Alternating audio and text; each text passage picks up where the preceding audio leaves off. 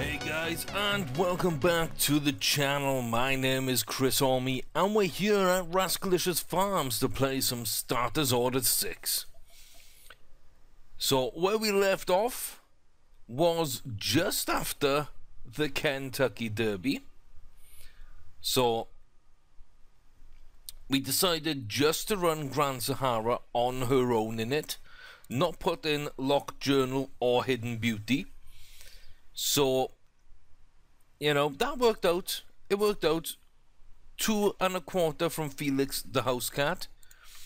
That puts us now in with a chance at a Triple Crown. So, I have booked Grand Sahara in both those races. And uh, the first race of the day will be Grand Sahara in the Preakness Stakes. We've also got a race booked for Gamabo, Ninja Girl, and Lock Journal which I think will probably do this video. We might run Sweet Treats because that then would leave us on the 11th with Crimson Star, Hidden Beauty, and Grand Sahara maybe going for that third Triple Crown race. And uh, maybe that's the one she needs to follow in Crimson Star's footsteps and win the Triple Crown this season. So, I think that's where we're gonna be. Everybody's just started breeding yesterday, so we're okay there. Without any further ado or too much pomp and circumstance, we're going to get right into the Preakness. And we are going to see exactly what she can do. Where is the Preakness? There it is. So Grand Sahara will be the favourite ahead of Cherokee Queen. That's a host, you know, Felix the host cat, not too far away. We've raced against both those before. Patriotic Flame, uh, Artful Fox. So, not as well known a field. I am a little worried if Grand Sahara can get this distance. Everybody's going Cherokee Queen on this one. Everybody's going Cherokee Queen. So, okay, I mean, fourth in the Derby, and now we're going into this. And Cherokee Queen ran yesterday. I really hope she doesn't do too much because she shouldn't be able to run back to back races like that. Um, I really hope that the game does sort of punish horses for running that close together. I know it doesn't sometimes there are, there is a slight bug in the game. So yeah, we're gonna keep an eye out for Cherokee Queen. But let's get into things. And they're off. There we go. So there's a while to go in this one. There is a you know this is not the longest. I think you know it's slightly shorter than the Derby, but it you know it's long enough. So you can see that Grand Sahara just in the edge of the picture in that fifth place now starting to make a little bit of move to keep with this leading pack. At the back of the field where Mascot takes up the rear with Crikneasy, Arby's Token, Radiantly, Artful Fox and the Cherokee Queen. They're all up at that part. War Party's there with them as is Mr. Determined. Distinct Vision off screen Nibani now just fallen down to fifth as Grand Sahara is on the outside of this chasing pack of four. The Patriotic Flame on the inside, Nelson's Chief just by a head leading us out. And we're all chasing Felix the House Cat, the second place runner in that Kentucky Derby. The only horse to come within two and a half, three lengths of Grand Sahara. He's leading this one from the front all the way. Grand Sahara in beautiful position, cannot get boxed in. Everything's going well. Two and a half furlongs. Patriotic Flames starting to make a move now, getting into position itself. Grand Sahara comes in and starts to kick on as we cross the two furlong marker. Is there anyone up from the back? Cherokee Queen might be making a move. We're under one and a half furlongs, coming up to the one furlong marker and Grand Sahara is streaking away from the field. Felix the House Cat has got nothing. Nobody else is close to the pair of them. And this is going to be another salute, another Triple Crown race win. And Grand Sahara is two from two. We'll see what she can do at the Belmont. Can she break every other horse's heart? Can she capture the imagination of a nation? Will Grand Sahara become our second horse in two years to win the Triple Crown? Now, Cherokee Queen did come in second, but four and a half lengths back. Felix the House Cat down to fourth. Still an impressive run. You know, second and fourth in the Derby and Preakness. Cherokee Queen, fourth and second in the Derby and Preakness. So I I've got the feeling that both of those will be at the Belmont Stakes. They've got to run if they're finishing top four in both these races. I think they've got to run. Uh, I'll be quite happy to see them as my main line of competition. So Grand Sahara settled early, close up halfway, led inside one and a half furlongs out, and then went clear. Absolutely fantastic. Up to a 129 rating. I think the highest horse I've had in this save so far was a 134, I think.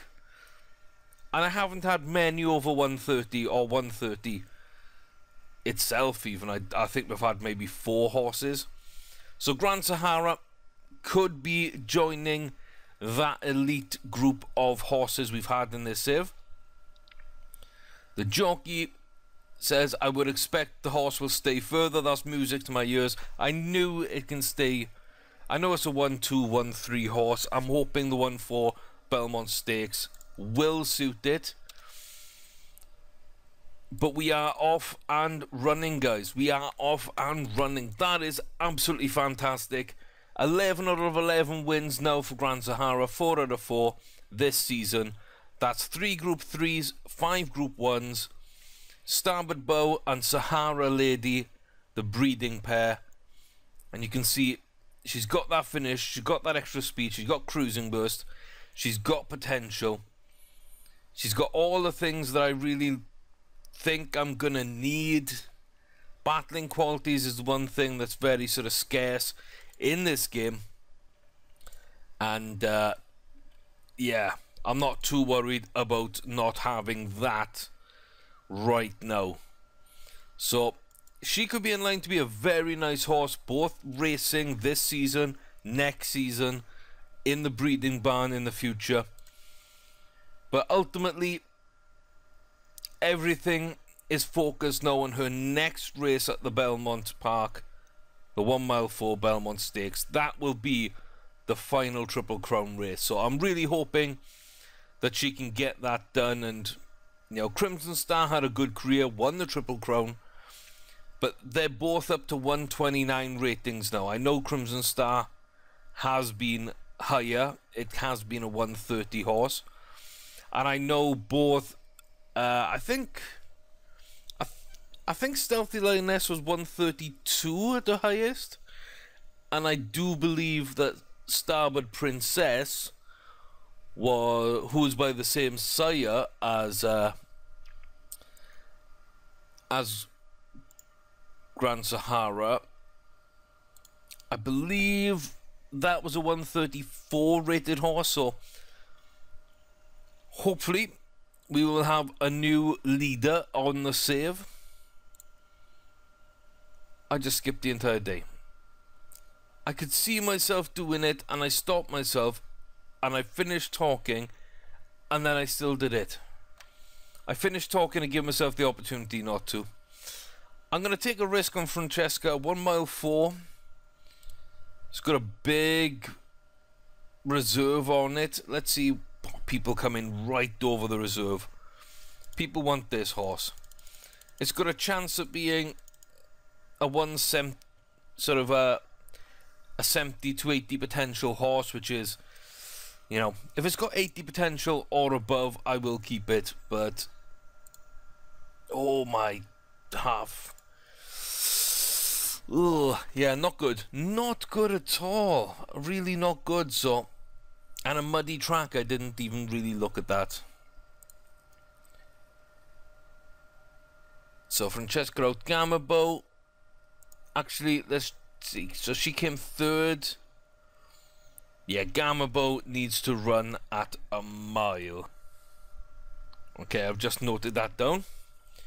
So, interesting to see that she can she can run quite well when she wants to. But we need to get her up to a mile. We really do need to get her up to a mile. So, okay. So, we have got three more races. That'll leave us the triple header at Belmont Park on the 11th.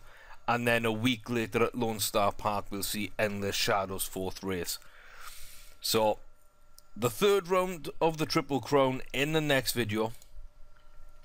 But we're going to continue things here with a race for Ninja Girl in a grade 3 and then also Lock Journal trying to prove what a good horse he can be and my other two-year-old male Sweet Treat so we got a couple of colts in there we got a two-year-old three-year-old colt We've got a two-year-old filly let's just see is there anything that I cannot ignore at the auction. Really isn't. Okay, so Francesca, there's there's bids and let's get out of that. How much did she sell for? Ooh. Yeah, I lost about a quarter of a million there. Okay, so we're a couple of days late on the breeding side. Hidden recipe and Chrome Mine looks like a nice one, why not? Retriever and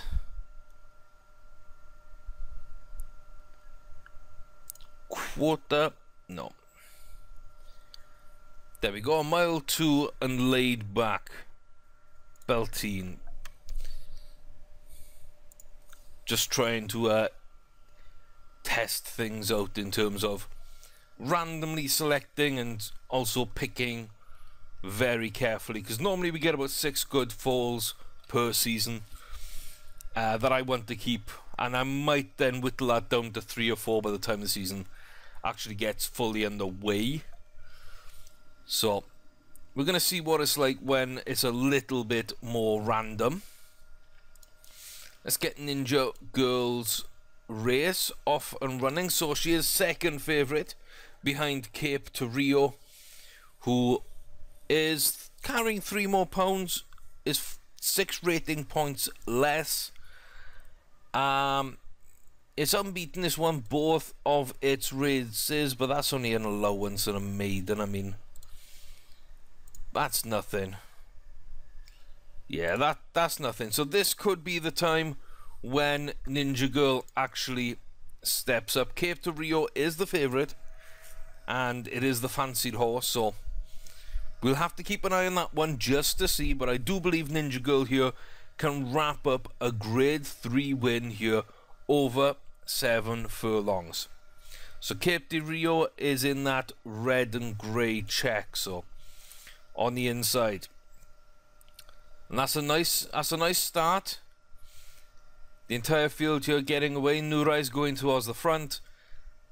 We got Cape de Rio and Singletree just behind. Kagan and Ninja Girl there, right in the thick of that, with Growth Stock and coming on at the rear of the field. And uh, not too distant, but unless they're closers, then they're going to have to do a lot of work to move into position here. So, we've still got the pack of four chasing down Nurai. Four furlongs left to go starting to get around this uh, long bend now. See what horses make their moves on the bend, if any. Ninja Girl does seem to be getting into position, but could easily get boxed in on current positioning. Falling back a little, two furlongs to go. Anyone making a move? Anyone going to go for this? Kaigan is going to go out fairly slowly. Cape de Rio is coming in now. Ninja Girl with a furlong to go, I believe didn't have the racing position and doesn't really seem to have too much either here. And I don't know what that move to the outside of the track was at the end. So that's a third place. Um, okay. Beginning to pick up. So let me make a note of that. Again, it seems like Ninja Girl wants to be run at a mile, same as Gammabo. They both placed third in a grade 3. Not the best so far then. So two third place, but of course we did get the Preakness out of the way first of all with Grand Sahara, so we're still finding our feet with our two-year-old fillies, but the three-year-old fillies are winning races. So that bodes well. And now we're back to three-year-old. This time our Colt Lock Journal. Two second places are the only times he has not won his race. He is the top rated. He is three pounds lighter than his nearest two challengers in terms of rating. And on the same weight, he is nine rating points better than Fantastic Day. So, this is a race Lock Journal should win. Let's have a look at the tipsters. Two of them going for Lock Journal. Let's get into this race then and see can Lock Journal make it four podiums in a row? Can we start and end with wins? Can we win, get a couple of third places at a, a slightly less distance than the horses like? But then can we get back onto winning ways with Lock Journal to really impress us? So, not a large field, only seven horses in this one.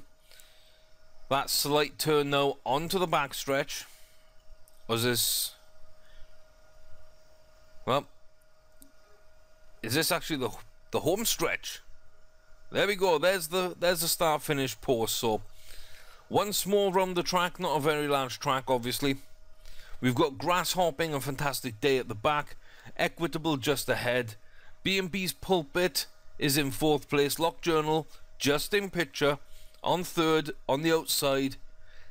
Decent racing line at the moment. Phone for Champagne is in second, holding that inner rail. And Trip Permit is out ahead, but probably going to get caught fairly decently. B&B's Pulpit looks to be making a move up in towards third place. Lock Journal is coming in for second place. Everybody seems to be stepping up ready for the start of this turn.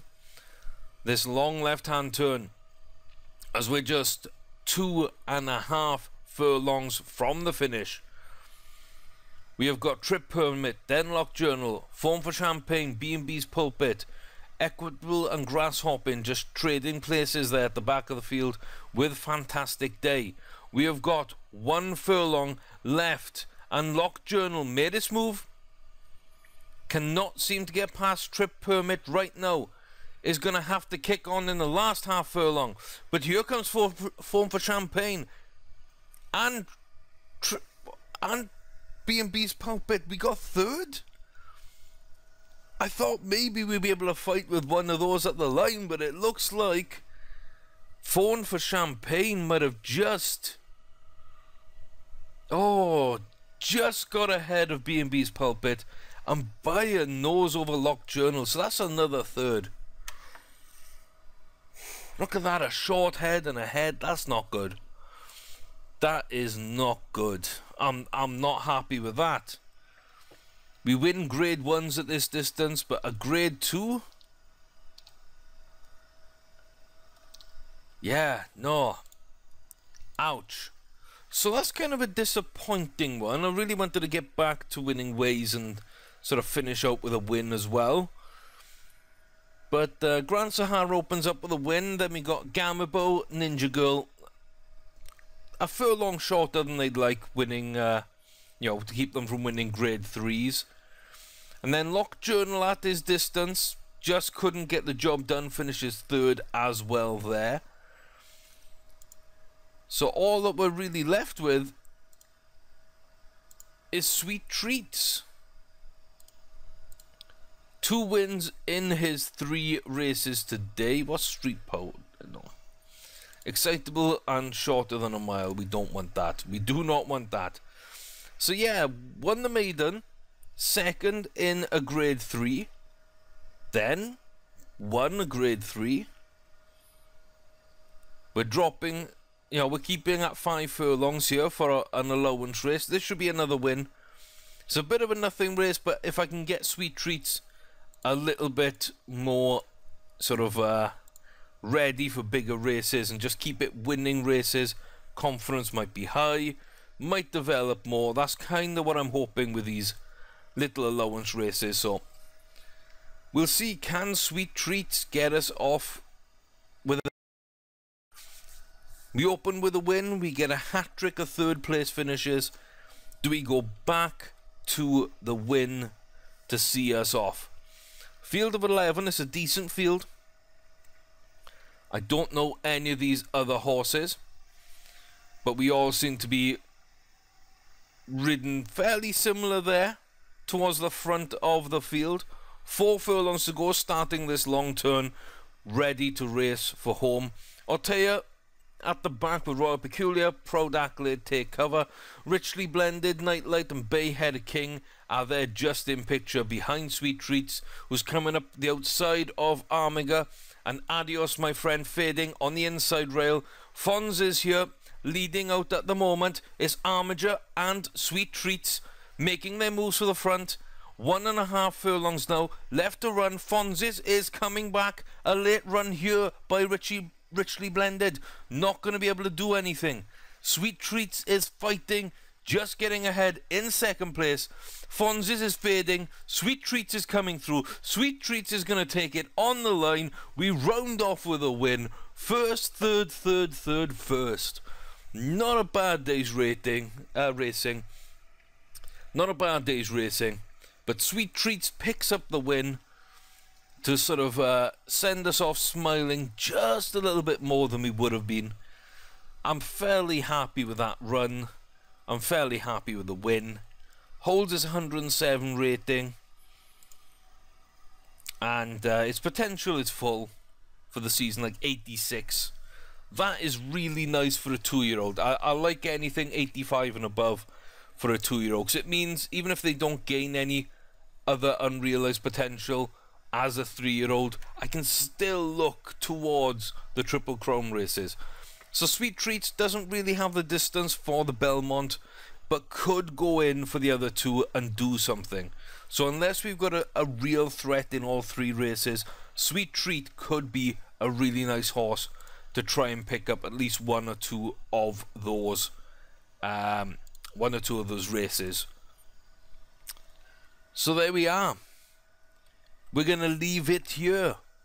We're going to be back in the next video for a triple header at Belmont Park. Crimson Star runs, Hidden Beauty runs. Most importantly, this year's Belmont is going to be coming up next. It is Grand Sahara, winner of the first two legs. Can she complete the Triple Crown? Can she follow in the footsteps of Crimson Star and of um, well, no, no, Starboard Princess didn't win the Triple Crown, did she? Because she won the the Derby, the Kentucky Derby, and the Belmont, but Stealthy Lioness stole away the Preakness. So this could be our only our second in this save to win the Triple Crown. So I hope you've enjoyed watching. I think we've got a good set of horses. They're not running as well as I'd thought, to be honest with you. I thought we were nailed on there for four wins out of five races today. We kind of got two distances slightly wrong, and I don't really know what happened to Lock Journal. But uh, next video, Crimson Star really does need to step up and show that he can still race and doesn't need to go into the breeding barn. Of course, Grand Sahara in the Belmont, and then Hidden Beauty She's only ever lost one race before, and that was a second place to round off last season. Can she keep her unbeaten season going this year? Really impress us. And then Shadow, three from three this year. Can he be the unbeaten two-year-old that Sweet Treats, Gamma Bow, and Ninja Girl could not this season. So will Ender Shadow make it 4 from 4 in the Grade 3? Tune in, find out. That's coming up very soon. But until then, guys, thanks for watching. Share, like, subscribe, all that good stuff. And uh, we'll see you back here very soon at Rascalicious Farms. Take care.